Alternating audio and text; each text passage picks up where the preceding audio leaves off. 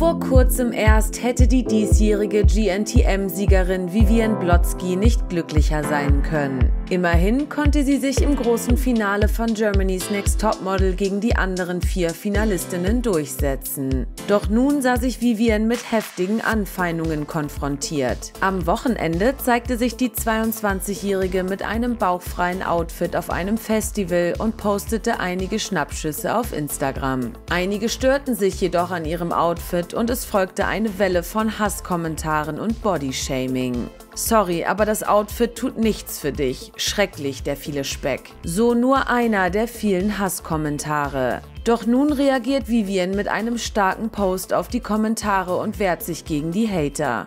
Ich bin sauer. Ich bin nicht sauer, weil ich das lesen muss. Denn ich bin mir meiner selbst sehr bewusst, sodass so etwas an mir abprallt. Aber ich bin sauer, dass solche Kommentare dafür verantwortlich sind, dass junge Menschen da draußen sich nicht trauen zu tun, wonach ihnen der Sinn steht, erklärt Vivian in ihrem Beitrag. Außerdem stellt sie klar, dass sie einige UserInnen, die ihr solche Kommentare geschrieben haben, angezeigt hat.